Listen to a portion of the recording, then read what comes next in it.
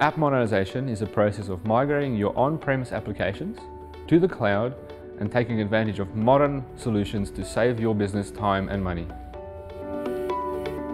So Azure is awesome. There are so many services available for you to take advantage of so you can innovate and deliver the best experience to your customers. One feature of Azure is Autoscale.